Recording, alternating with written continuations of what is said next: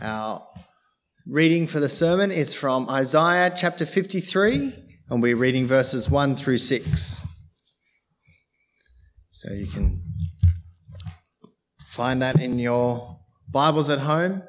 God here is speaking to Isaiah and telling him all about the person that he will send to rescue his people. So, Isaiah chapter 3, verses 1 to 6. Who has believed what we have heard? And to whom has the arm of the Lord been revealed? He grew up before him like a young plant, and like a root out of dry ground. He didn't have an impressive form or majesty that we should look at him, no appearance that we should desire him. He was despised and rejected by men, a man of suffering who knew what sickness was he was like someone people turned away from. He was despised, and we didn't value him. Yet he himself bore our sickness, and he carried our pains. But we, in turn, regarded him stricken, struck down by God, and afflicted. But he was pierced because of our rebellion, crushed because of our iniquities. Punishment for our peace was on him and we are healed by his wounds. We all went astray like sheep. We have all turned to our own way, and the Lord has punished him for the iniquity of all of us. This is the word of the Lord. Thanks be to God.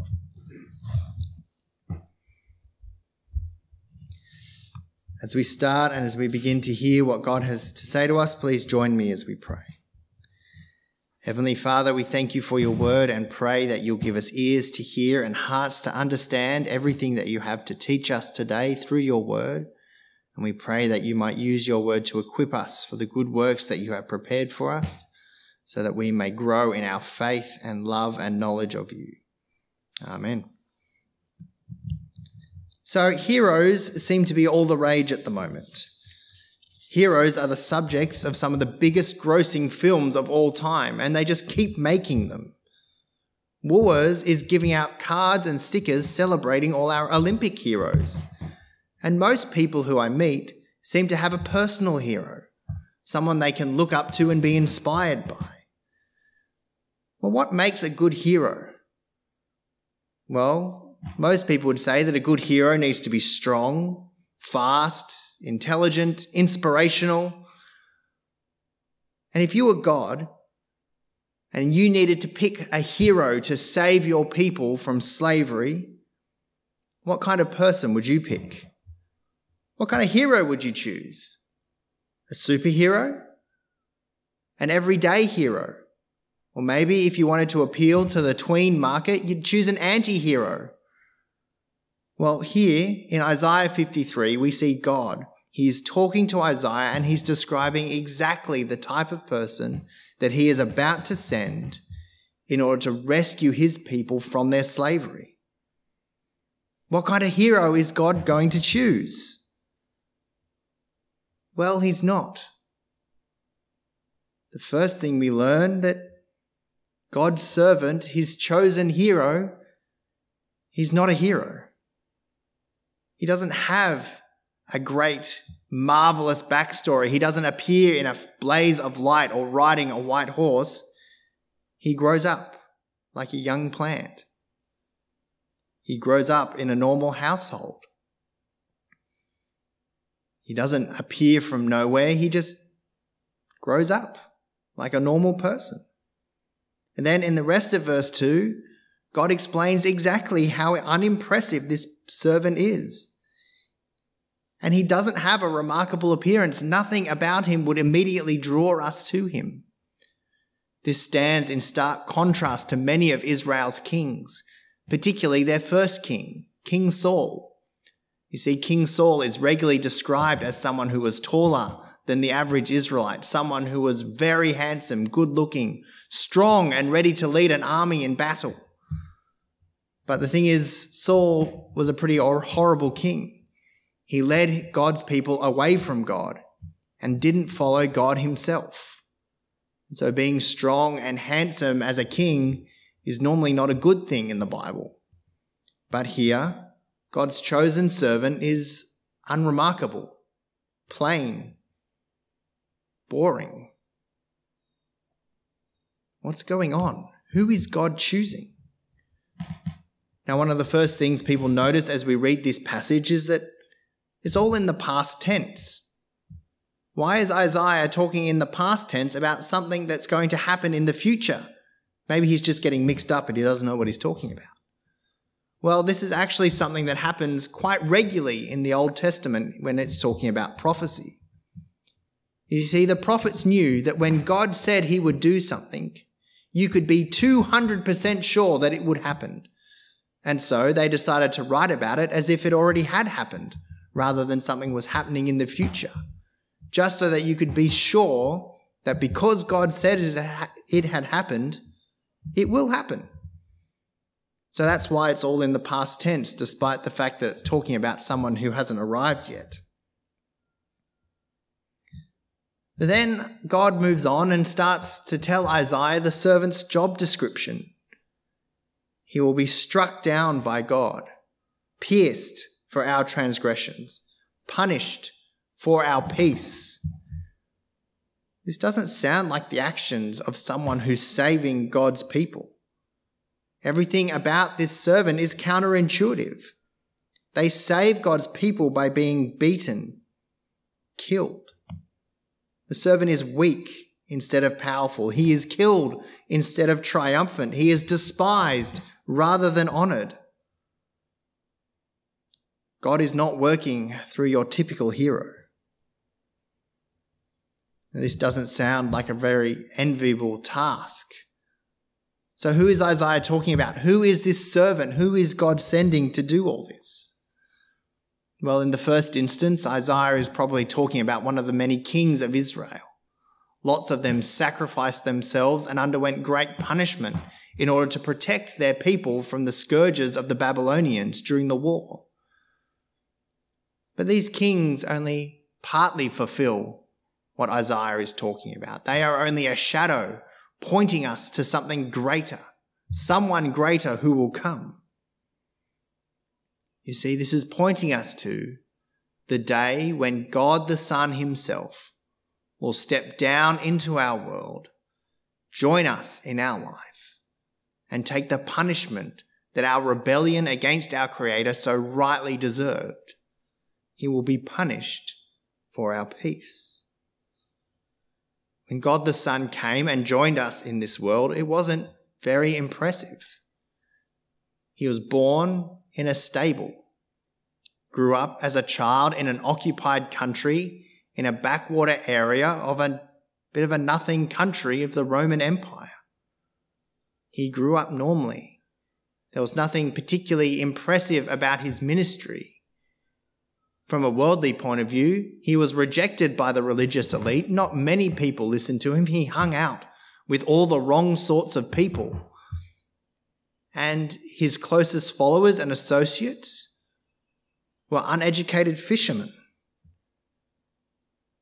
He was beaten by the Roman guards, mocked by the crowds, abandoned by his closest friends rejected by the political leaders of the day. And ultimately, he was left to die the shameful death of a criminal on a Roman cross. A death so horrific and shameful that it was reserved for only the worst criminals. In fact, no Roman citizen could ever be crucified because it was considered that humiliating. Yet this is the one that God is using to save his people. How does that work? But it's in this weakness and humiliation that God says, the punishment my people deserved for their rebellion has been paid for. In the death of Jesus on the cross, all of our sins have been paid for. Our punishment has been received not by us, but by Him. And then in His resurrection, He grants us new life, so that we can live and come to God no longer as his enemies, but as his beloved sons and daughters. This isn't what you would expect if you were planning to save your people from their enemy. If I was doing it, there'd be white horses, there'd be flashes of thunder and lightning, great blinding lights. But God does it through the suffering of his servant. And that is how we are healed.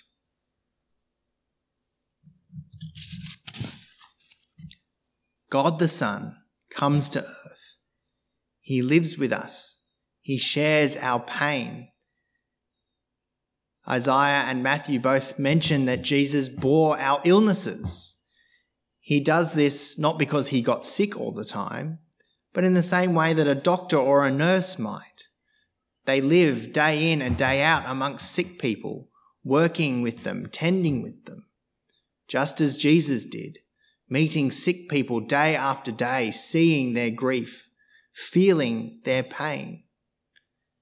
He knows what it's like to suffer. And as we read this and we go, why would God choose to do this? Why would God through, work through such a humiliating death? Why would God work through a suffering servant? And we think that until we remember that actually this is how God has always worked. Jacob was a lying cheat, and God used him to become the father of the Israelite nation. Joseph, he was an arrogant know it all, but God was able to use him to save his people from famine by helping him to gain power in Egypt. Moses, Moses was a coward but God still used him to bring his people out of Egypt to the very borders of the land that he had promised to give them. David was a murderer, but God turned him into the greatest king that Israel had ever seen. Peter? Peter was just a fisherman. No formal training, no great learning. But God used him to preach a sermon that converted 3,000 people in one day. God has always been in the habit of using normal people to do his work. And we see that ultimately when God the Son himself steps into our world. Not in a blaze of light, not in a flash of glory, but in a stable to die on a cross for us. But why would God do this? Why does God choose to work this way so often? Surely he'd get more Instagram followers if he was more spectacular. Well, as we read from Paul's letter to the Corinthians, we see exactly what is going on. Verses chapter 1 verses 28 to 31 say it like this. God has chosen what is insignificant and despised in the world, what is viewed as nothing, to bring to nothing what is viewed as something, so that no one can boast in his presence. But it is from him that you are in Christ Jesus, who became God given wisdom for us, our righteousness, sanctification, and redemption, in order that, as it is written, the one who boasts may boast in the Lord. God regularly uses the weak and the humble to accomplish his purposes, to help us remember that everything we have and everything that we have achieved comes not from our own inner effort, comes not from our great work ethic, our amazing talent, but comes solely from the God who created us. He is the one who gives us everything we have, and He is the one who can use us no matter how good or amazing we are in the world's eyes. Jesus' death and resurrection is the thing that saves us, not our good works, not our great piety, but Jesus. Nothing that we could ever do could earn that salvation. We could not work our way into God's good books. But that's okay because Jesus has done all that is required and all we need to do is trust. But that means that God can work in us and through us no matter who we are. God doesn't need us to be faster, higher, stronger, smarter, better. He just needs us to have faith. And He will use us to do what He wants to do in the world. He will give us everything we need to do the jobs that He has given us. So that when He works through us, when we look back on our lives and see everything that God has done for us, we say, Look at God. Look at how great He is that He could use even someone like me. You see, this is one of the great things about being a Christian is that God's not interested in your resume. When you apply for a job, you write a resume, and the goal of your resume is always to say, Look at me, look at me, look how great I am. Look at how good I will be at this job. This is why you should hire me and not anybody else, because I'm the best. God's not interested in that. Because God looks at us and says, I have a job for you. You don't have to be good enough. You don't have to be the best, because I will make you good enough. I will work through you whether you are good enough or not. That is just how powerful our God is. Because in the death and resurrection of Christ, God has made us perfect in his sight. And so now he's going to use us no matter who we are. One area that we very regularly fall into this trap, I think, is that when it comes to sharing our faith. When it comes time to tell other people what we believe or what we think about God, we often find ourselves making excuses like, oh, I don't really know enough about the Bible to do that. I'm not articulate enough. I won't have all the right answers. God says, it doesn't matter. I will make sure you know enough. I will give you the right answers.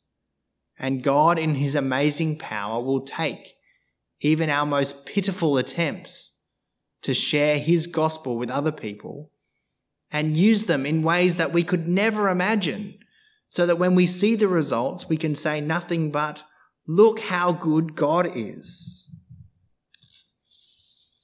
Greatness in the kingdom of God is found in service.